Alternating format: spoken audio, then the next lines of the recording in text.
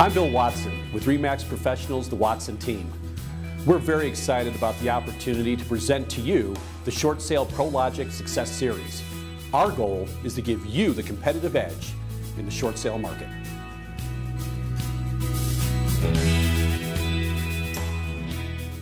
Hey, welcome back.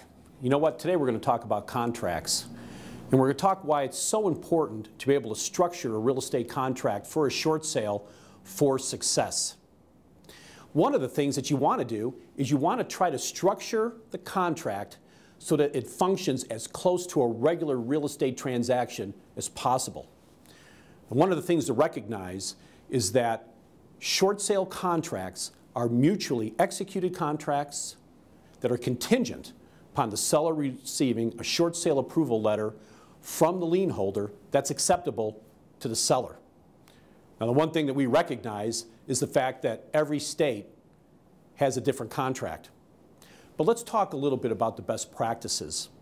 Some of the best practices are that the dates would become effective from the receipt of the seller receiving the short sale approval.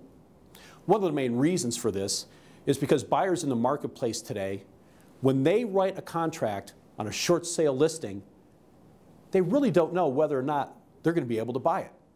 There's still going to be a time frame, whether it's 30 days or 180 days or, sad to say, longer, before they know that they're going to be able to buy that property.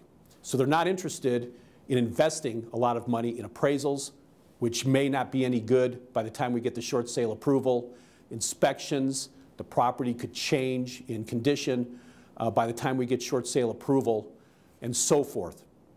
So the best thing to do is to trigger all the dates from the time that you receive short sale approval. In many of the contracts that we see, we might see an action that has to take place, and it'll say SSA plus so many dates, so many days. And what does that mean? That it's going to be so many days after the short sale approval.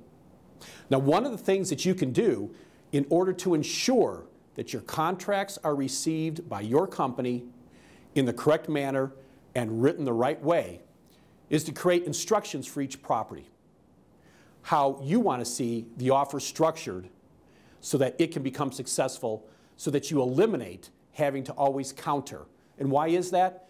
Because A, a lot of agents out there sad to say just do not know how to write short sale contracts.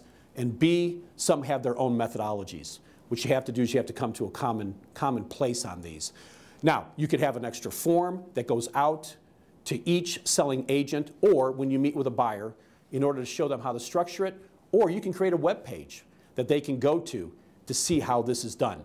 What you're going to find is most of your contracts at that point are going to come in written, perfectly clean, ready to go, able to have your seller execute, and able to get it into your short sale negotiator so that you can start working on the file.